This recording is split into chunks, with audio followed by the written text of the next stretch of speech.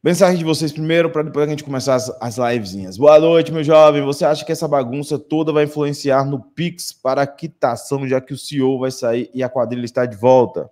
Cara, é...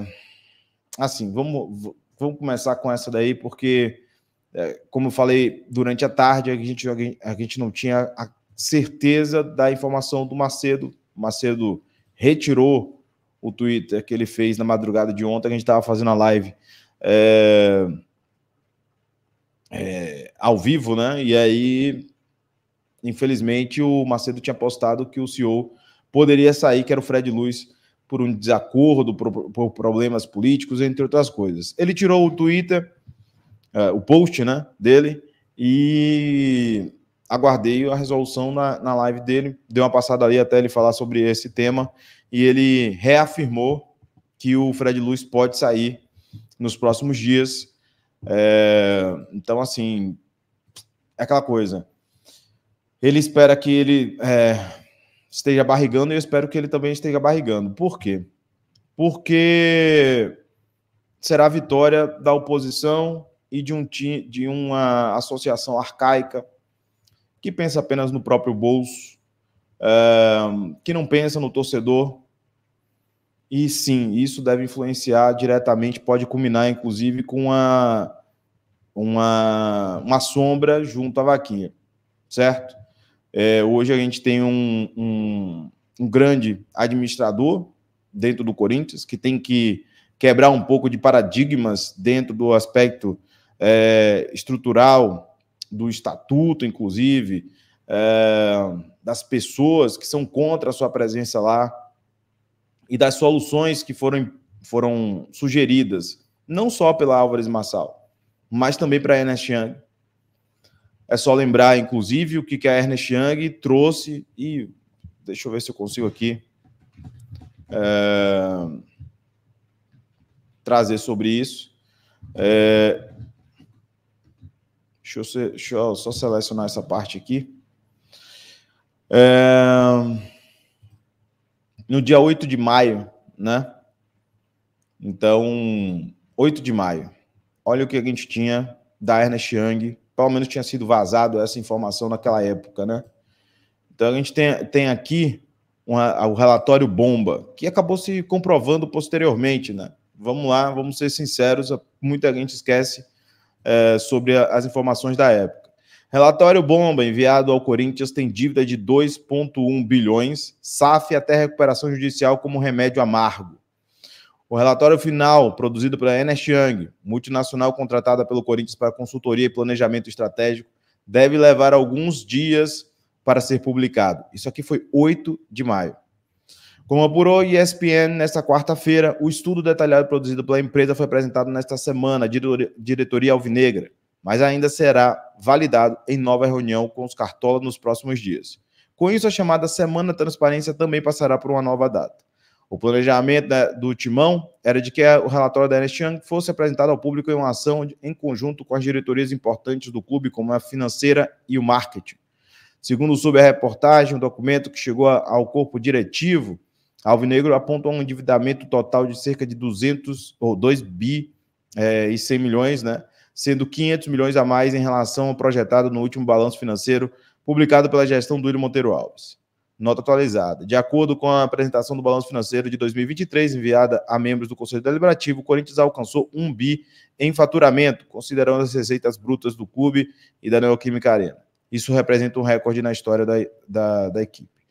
Uh, por outro lado, a dívida bruta também ficou em patamar elevado, 1,96 bilhão, sendo 1,26 bilhão do clube e 700 milhões do estádio.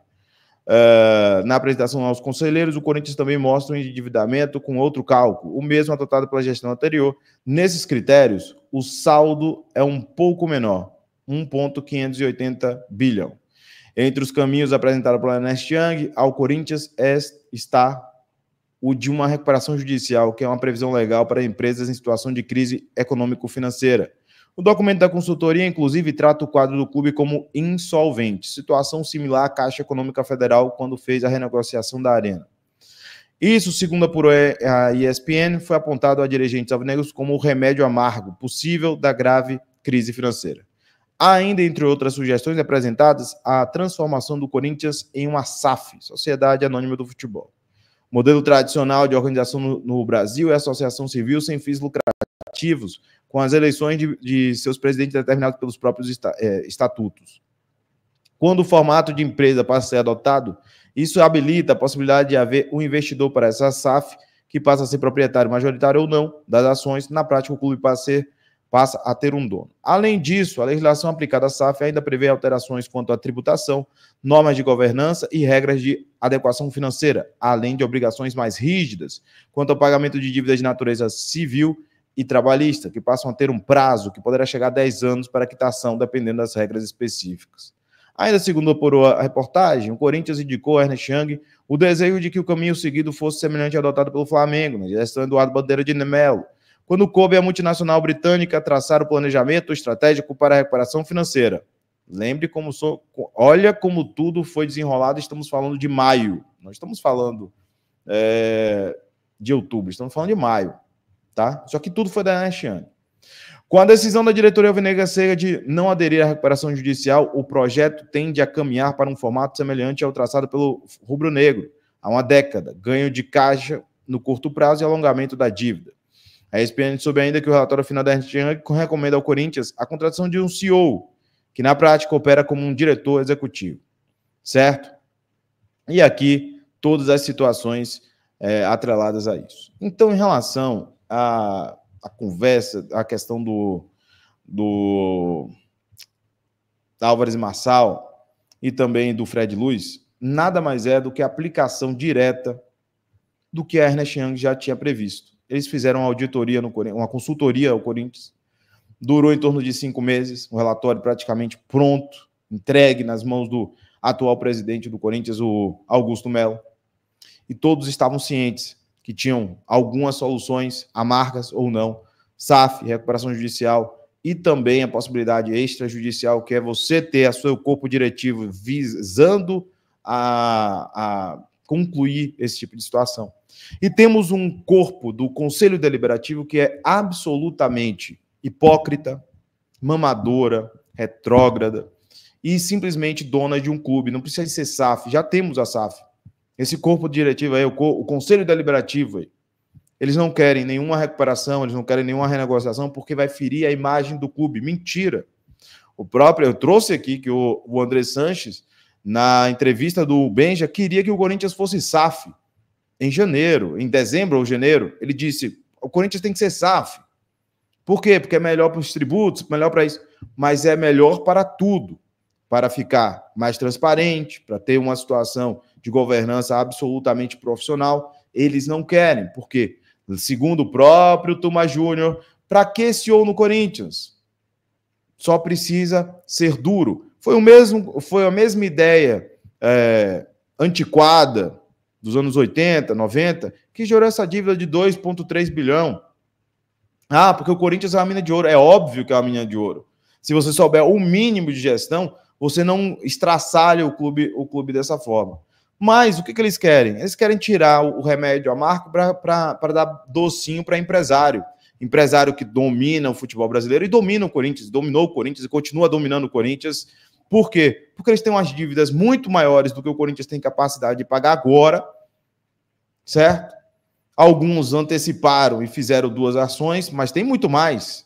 Então, o Corinthians está na rédea desses, e são 16 anos de livre acesso no Corinthians. Sempre tiveram 16 anos de livre acesso no Corinthians. Qual a diferença? E agora a gente tem um profissional que todo torcedor, é, 9 em 10 torcedores queriam um CEO no Corinthians e agora vai embora porque não vai aplicar nenhuma das medidas amargas necessárias que empresas profissionais de relatório da Ernest Young, da Álvares Massal e do Fred Luiz querem adotar no Corinthians. Eles não conseguem conceber que o Corinthians pode ser um Fluminense, um Botafogo, que eles adotam esse, esse porque vai estragar a imagem do Corinthians. Pois é, quando penhoraram o Parque São Jorge, penhoraram a taça do Corinthians, penhoraram tudo, dão bloqueio judicial, isso não estraga porque a imagem de caloteiro que o CEO está tentando tirar, eles gostam dessa imagem. O clube social, e hoje, Corinthians, Eles gostam porque são as gestões mais retrógradas possíveis. O retrocesso está na cara do Tuma, do Duílio, do Andrés, do Mário Gobi. Essa é a casa, cara do passado. E nem estou dizendo que o Augusto é a cara do futuro. O CEO, como cargo, necessariamente, com medidas duras, drásticas, dolorosas, é a cara do futuro. Eu, eu defendo estritamente, muito mais, ter esse conjunto entre, entre dois CEOs, ou até mais, que a gente já teve no, recentemente, agora a gente tem em outros lugares, é, no marketing corintiano. Pô, a gente tem o Pedro Silveira, pô. CEO da XP, vai embora também daqui a pouco? Vai ficar só trocando cheque? Vai ter bloqueio toda hora? Pô, a gente tem o Pedro Silveira lá, cara. A gente tem o Fred Luz lá. Para botar quem? Tuma, Stable, Andrés, Mário Gobi. Quem? Quem? Aí depois ele vê, não, a gente tem aqui o Rosala. Para fazer o quê? Para ficar trocando cheque? para arquitetar toda, todo o futuro do Corinthians e dizer assim: não, isso daqui vai estragar a imagem do Corinthians. Corinthians é uma empresa, pô. Não é clube do povo, é uma empresa. Uma empresa tem que ser tratado como clube empresa, SAF. Associação já foi, tantos já, já quebraram aí, tantas associações já foram. E aí, no final das contas, até para terminar, sim, impacta na vaquinha. Se o CEO sai antes da vaquinha, por que eu vou acreditar? Por que acreditar? Por que eu vou pagar para um clube que tem exatamente o Tuma como Conselho Deliberativo, o André Sanches, o Mário Gobi como Roque Citadini, Rubão, que vão se beneficiar do meu esforço para pagar a porcaria. Cai o CEO, ah, vem outro, óbvio que vem outro. Mas para fazer o quê? Para cumprir o papel do que o Tuma quer? Quer fazer nada. Porra, teve uma reunião dia 7, não resolveram. Dia 14, não resolveram nada. Tem nada para fazer isso. Tá na hora da Gaviões também começar a dizer assim: peraí, irmão, que isso? Que isso? Vai, vai tirar o, o senhor, qual é o problema? Tá na hora da. Agora, a vaquinha pode ir pro brejo. Por quê? Todo mundo tá louco para doar. Mas para doar para quem?